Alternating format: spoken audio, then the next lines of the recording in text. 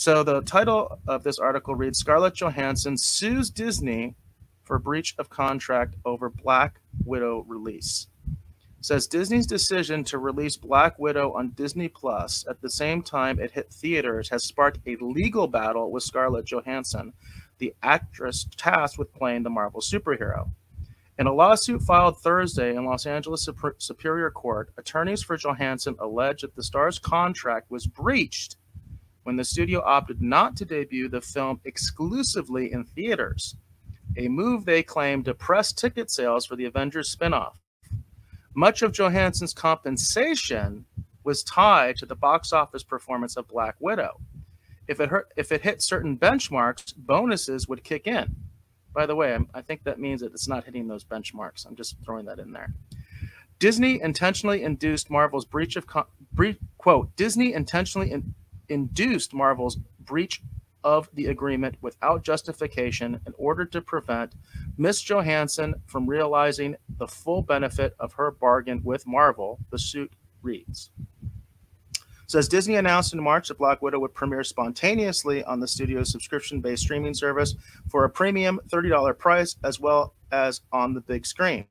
Anybody, if you've ever watched this show before, you know I hate this model. I think it's disgusting. I will never, ever use this.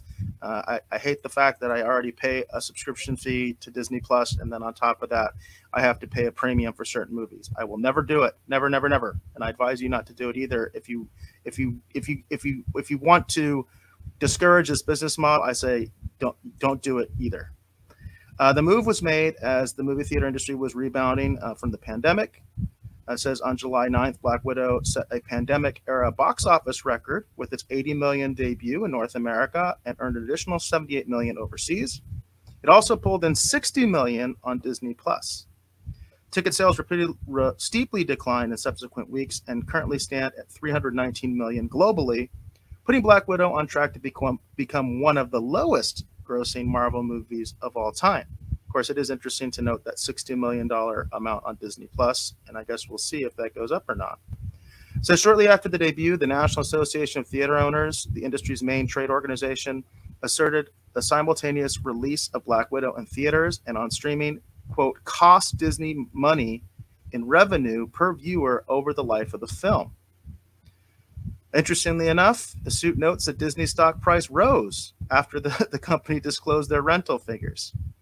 So here's another quote from the lawsuit says Disney chose to placate Wall Street investors and pad its bottom line rather than allow its subsidiary Marvel to comply with the agreement.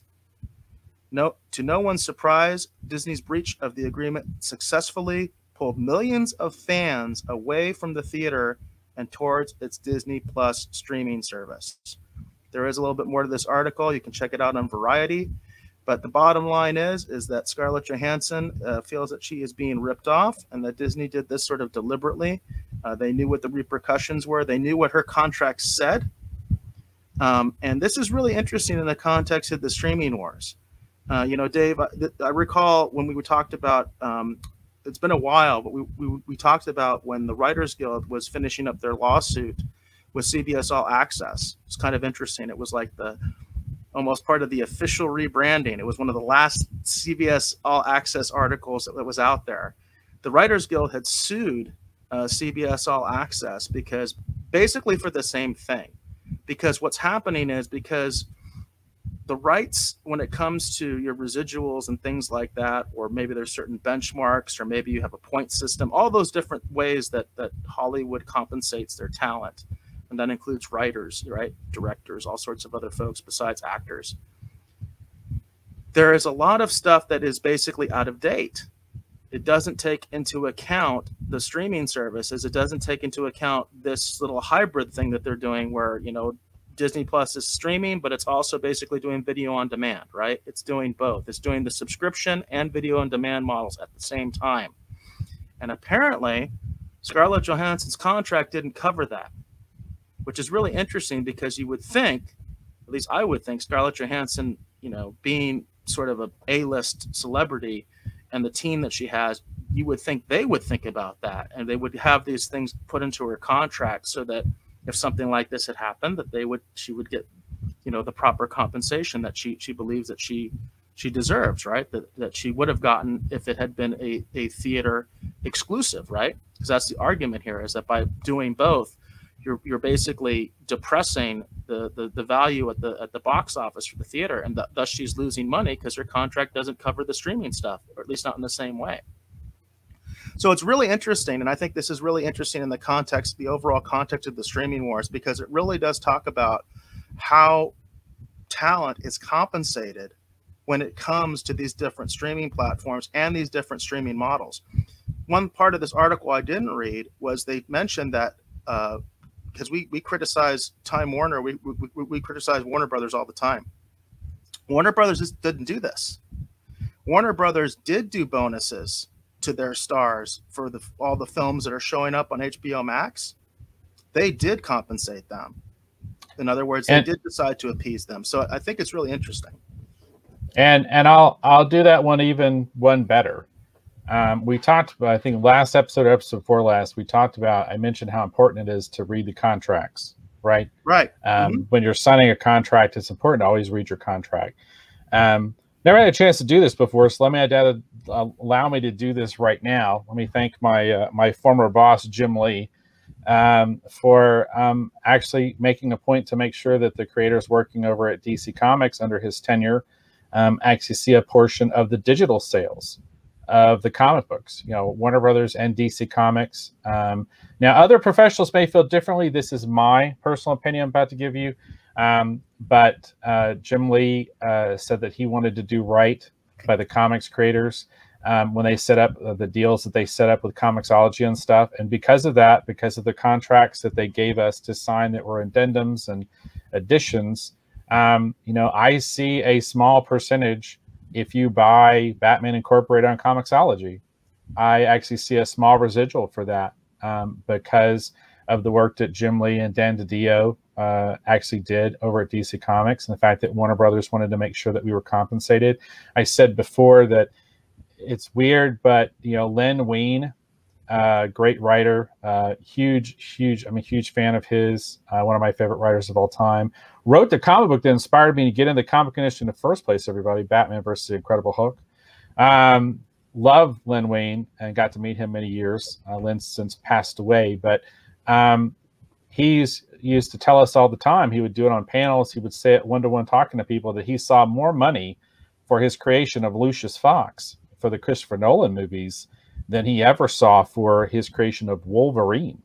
Right. So that's just crazy when you think about that. Wolverine, he doesn't see anything for Wolverine, but he, he does see money actually for Lucius Fox or did. Um, and so just want to personally, publicly thank, you know, Jim Lee and, and uh, Dan DiDio and the folks over at DC and Warner Brothers that were there at that time and, and doing right by creators. Cause you're right, Eric. That's the thing when, when people talk bad about Warner Brothers and stuff and whatever in DC, sometimes I'll come out and defend them when it comes to these kind of matters because, regardless of how you feel about how they handled it at the end of the day, or if it is or isn't enough or whatever, we can debate that until we're all blue in the face. But at least they did try to do something to make sure that we were compensated for the work that we did, and I highly, highly appreciate that as a creator. Yeah, absolutely, and and I think it's it's one of those things that actually speaks to the corporate culture that they have over there at Time Warner, which again, Dave and I, we have no problem sometimes making fun of their decisions or things like that. But I, I can I can tell you, it says right here, you know, uh, that basically, you know, it says with the rise of streaming service such as Netflix has removed uh, many forms of compensation um, and the decision by traditional movie studios like Warner Brothers and Disney to release films on their own in house subscription services has further upended these old ways of doing business. When Warner Brothers opted to send its entire film slate to HBO Max, realizing the movie theaters were only operating at a limited capacity for much of the year, the studio had to pay tens of millions of dollars to the stars of those films. That resulted in actors such as Will Smith, Denzel Washington, Keanu Reeves earning their full back end on the movies that Warner Brothers released on its new service. So again, contrast this to the way that Disney is doing business, the way that Marvel has been doing business and is still doing business under Disney. Uh, th- these this is really interesting, and, and it's really interesting to think of how this might have an effect uh, on the streaming wars going forward. Because hey, if you're talent I would much rather work for Warner Brothers at this point than for Disney. I mean, it's it's pretty obvious. I mean, it, it, it's pretty crystal clear that you're going to be taken care of better by Warner Brothers than you are by Disney. You know, and I had a friend many, many years ago who told me um, they gave me the advice. They said, uh, they said, don't, don't, don't work for Disney. And I'm like, why? It's like because they'll find a way to own anything you ever draw from that moment on. And I don't begrudge Disney whatever, but it is weird uh, when you think about it.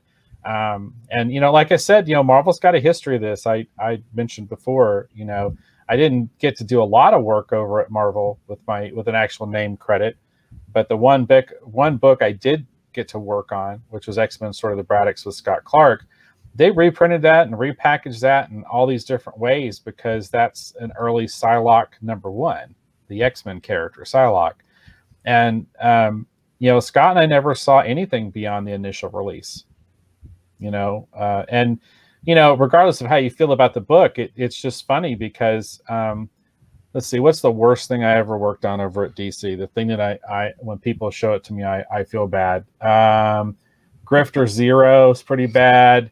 And uh, that the first thing that I worked on at DC, I got a credit for Cry for Justice. That last issue of Cry for Justice that Scott and I did did together. That book was super rushed because we had to turn we had to turn our portion of that book around in a weekend, and it was rough.